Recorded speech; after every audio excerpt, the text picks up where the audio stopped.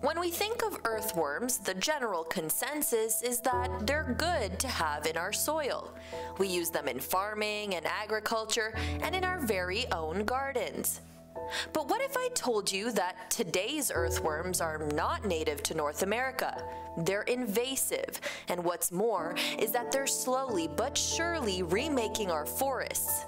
And that has caught the attention of climate scientists. We have evidence that we, we probably did have earthworms in North America before the last last glacial period.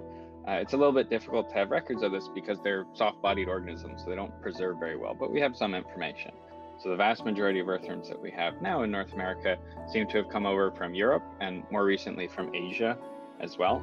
Um, so the first records that we have date back to generally the 19th century, but it's likely that they were present here um, many years before that and just hadn't been recorded. And there's still many parts of North America now where you can't actually find earthworms. So this is an active invasion where they're, they're still spreading into previously earthworm-free soils.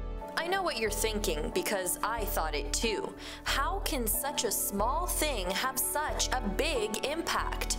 First of all, earthworms have been found in what's considered to be the biggest terrestrial carbon reservoir, our boreal forest. Compared to other types of forests, most of the carbon is found in the soil. And that's just due to low temperatures, long winters, so everything is happening at a slower pace decomposition is very slow. And because of that, organic matter accumulation uh, happens over time. So 95% of the carbon that we find in the boreal forests are found in the soils. So most of the carbon is in the soil.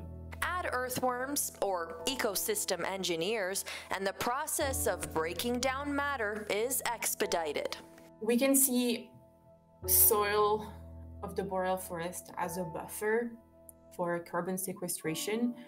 So if we lose that buffer, that means that some of the organic matter that was supposed to be stabilized in the system for a pretty long time is not going to be there, so it's going to be released into the atmosphere as carbon dioxide. While the earthworms are literally breaking down the ground's ability to trap carbon, they're also destroying ecosystems for other organisms. All these different levels of biodiversity are, of course, connected.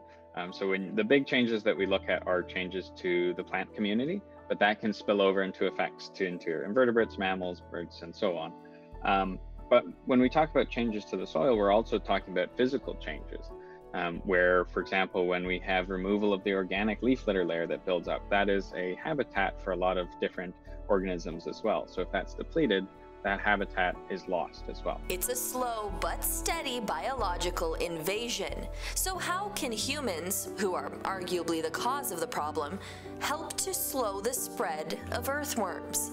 When we're talking about more remote areas, one of the major sources of earthworm spread uh, is actually the disposal of fishing bait. So worms are popular with anglers. You take some worms up, you maybe don't use all of them, you dump the, the spares in the woods, and that's a potential new population. But just being aware of like, not introducing something in a natural system that was not supposed to be there.